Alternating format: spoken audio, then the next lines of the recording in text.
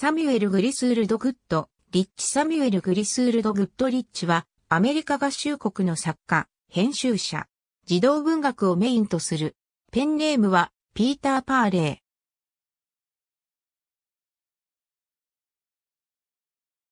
コネチカット州のリッチフィールドという町で生まれる。幼い頃に赤ずきんを読みショックを受ける。その後それが創作されたものだと知り作家を目指すようになった。1872年に発表したピーター・パーレーのアメリカ物語は欧米各国で大評判となり、ノンフィクション児童文学を確立させた。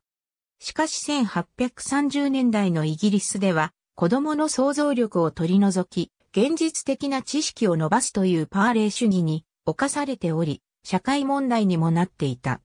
やがて1840年代に入ると、ヘンリー・コールなどによって、再び空想力を高める児童文学に戻るようになった。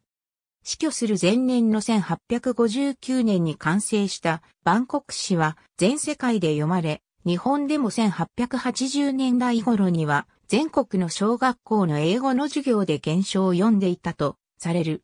この著作についてはまだ無名だった頃のナサニエル放送に依頼し執筆させたものであることが分かっている。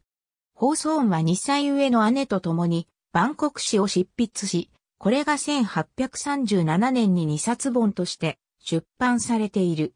詩学書としては通俗的かつ初歩的な内容であるが、その洗練された表現は特筆されるものであり、日本では語学用教材として非常に親しまれた。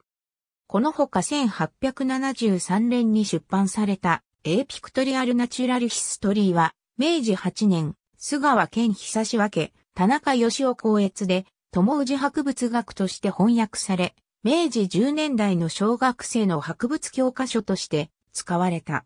丸善百年史、第9商用書の輸入、上村誠治 P134 体に、紹介あり。